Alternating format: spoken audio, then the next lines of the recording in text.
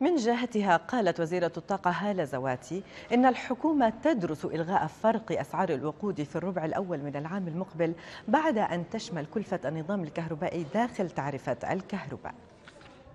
بدي أحكي بموضوعين مع بعض اللي هو فرق بند فرق أسعار الوقود وإعادة النظر في التعرفه، التعرفه مشوهة فعلا كثير فيها آه، آه، تغيير من من مستهلك لآخر، فاليوم إحنا آه، عم ندرس إعادة النظر في في التعرفة بشكل عام لجميع القطاعات ولجميع الجرائح.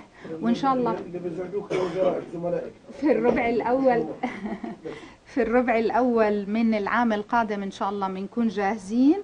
وبالتالي رح آه، رح نشمل أي تكلفة للنظام الكهربائي داخل التعرفة وبالتالي بيؤدي هذا الحكي لأن نقيم شيء اسمه بند فرق أسعار الوقود اللي شايفين إن شاء الله هذا آه، بالربع يعني نهاية الربع الأول 2019 بيكون هذا الحكي إن شاء الله جاهز.